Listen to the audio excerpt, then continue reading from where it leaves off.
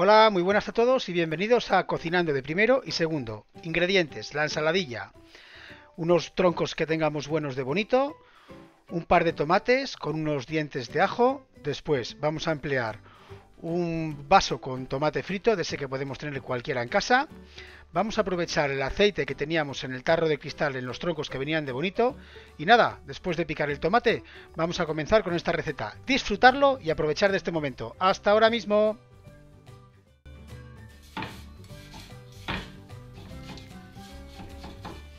Así que primero lo que hemos hecho ha sido pelarlos y después trocearlos simplemente.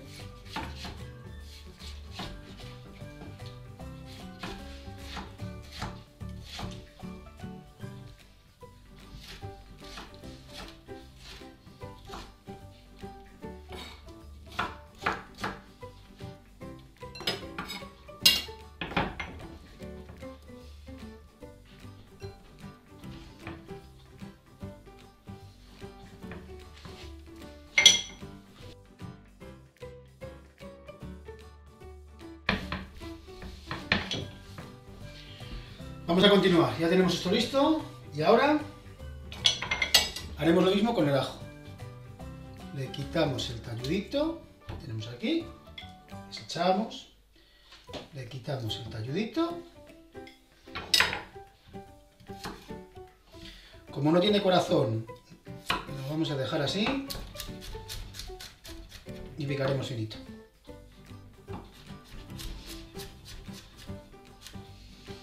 Así que dentro de un momentito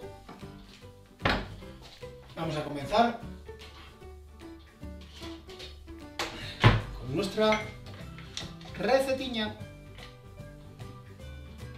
Ahí está.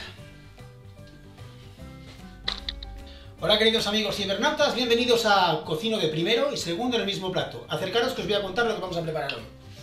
Vamos a preparar un marmitaco falso para que nadie se lleve, se lleve luego sorpresas, ¿eh? De lo siguiente tenemos ensaladilla, que sería esto, la ensaladilla que compramos normalmente, que viene en una bolsa. Vamos a ponerle tomate natural y vamos a ponerle aquí unos tacos que tenemos de bonito. Un poquito de ajo, aceite que hemos aprovechado del bote que teníamos de los taquitos de bonito, un poquito de tomate y además vamos a emplear un poquito de vino blanco, ¿de acuerdo? Así que sin más dilación vamos a comenzar. Comenzamos echando el aceite que hemos dicho que vamos a aprovechar. Ya la sartén la tenemos calentando. Y agregamos los ajitos. Como siempre vamos a dorar un poquito. Y ahora como siempre os digo, me encantaría que olieseis lo maravilloso que es este ajito con el aroma que está soltando al bonito que anteriormente teníamos. Yo con que coja un poquito de color va a ser suficiente. Ya le agrego las hojitas de laurel para aromatizar mi marmitaco. Como ya ha cogido un poquito de color y está soltando aroma también el laurel, le ponemos el tomatito. El tomate lo vamos a hacer para que nos quede luego una salsa rica y nos quede una salsa sueltita. Mirad. ¿Lo veis? Ya está empezando a hacerse la salsa. Le vamos a poner ya un poquito de sal.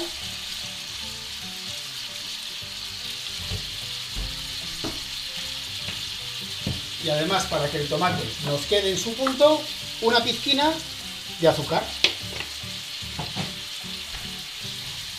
Damos una vueltita. Tampoco hace falta dejarlo mucho, ¿eh? Porque ya prácticamente está todo hecho. Vamos a dejar esto así un par de minutos o tres. Y en un momentito regresamos. Venga, hasta ahora mismo. Ya han pasado los tres minutitos, así que mirad cómo está esto. Prácticamente se está haciendo la salsa. Yo voy a dejar que se queden esos trocitos ahí de tomate, que es lo que me interesa. Y ahora ya vamos a saltear o vamos a hacer lo que sería la ensaladilla que teníamos antes, que decíamos. Agregamos toda.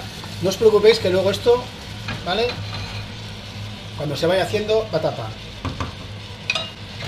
Ahora simplemente lo que haremos será que coja todo sabor, le volvemos a agregar una pizquita de sal.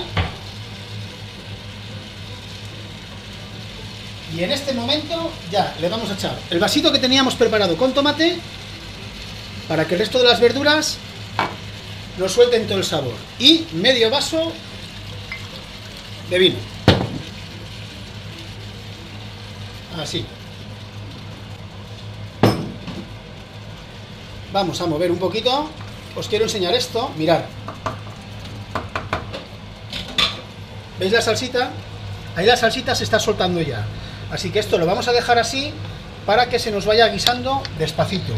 Vamos a quedarlo para que nos quede como si fuera... A mí sabéis que me gusta que quede poco hecho, bueno, que quede al dente, ¿vale? Entonces, vamos a taparlo otros 5 o 6 minutos más para que la verdurita se quede en su punto. Y después vamos a terminar poniendo encima los troncos de bonito. Como ya están hechos, le damos dos minutitos más y lo tendremos listo para servir. Así que dicho esto, vamos a taparlo con esta misma cazolita que tenemos aquí, esta tapadera. Y vamos a esperar nuevamente 5 minutitos. Vais a ver que es un plato que en 10 o 12 minutos tenéis listo para servir. ¡Hasta ahora mismo! Bueno, queridos amigos, pues ya estamos terminando. Este es el último paso que vamos a hacer para la receta. Acompañadme. Atención que vais a alucinar pepinillos, ¿eh? Mirad qué aspecto más buenísimo tiene. Lo que haremos ahora será colocar los trocitos que tenemos de bonito por encima. Así. Vosotros echar lo que os parezca y lo que os apetezca, ¿vale? Cada uno sabrá lo que tiene en su casita. Solamente es para que, para que se caliente, como he dicho antes, porque ya prácticamente está. Le bajamos el fuego. Lo tapamos otros 5 minutitos y ya está listo para comer.